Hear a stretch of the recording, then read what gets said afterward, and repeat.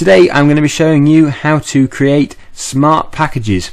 Okay, so if you don't know what a smart package is, basically what it is, is it's something which brings all of your project material together and it will put it in a folder all nice and neat and together.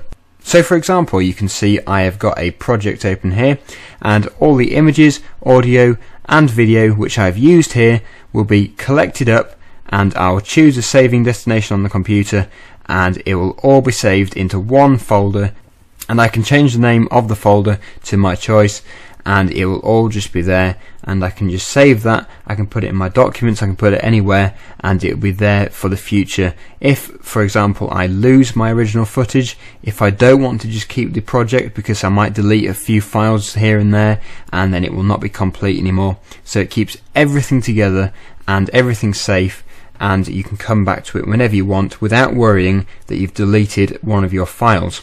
So this is how you do it. You load up your project, you then save your project to whatever you want, wherever you want, and then you get it open like I've done here, and then you click File, and then you'll see it says here Smart Package. So if you left click on that, it will say do you want to save it again, say yes, and then it will open up this, which is the Smart Package window.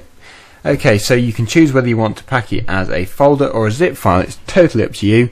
Obviously, a zip file will probably compress the files a bit, so it's better for if you're sending as an email or if you just want to save for a long time and you don't really want to access it in the near future. But I'm just going to do it to a folder.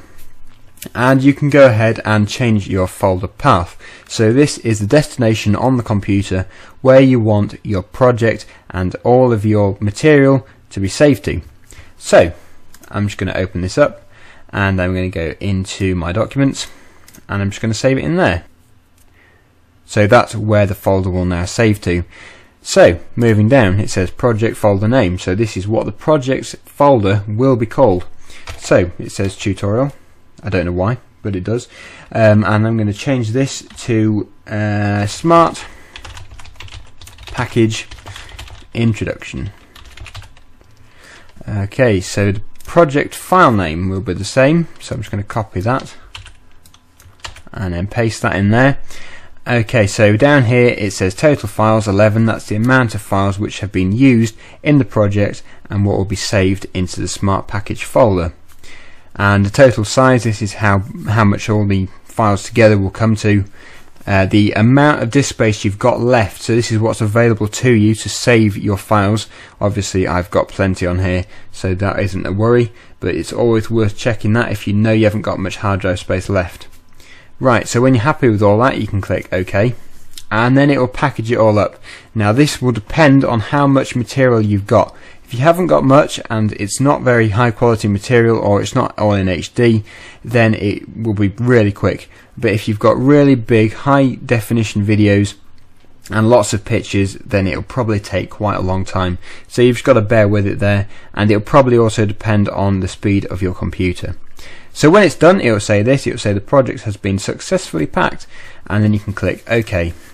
So that's all you have to do to create a smart package in VideoStudio Pro X6.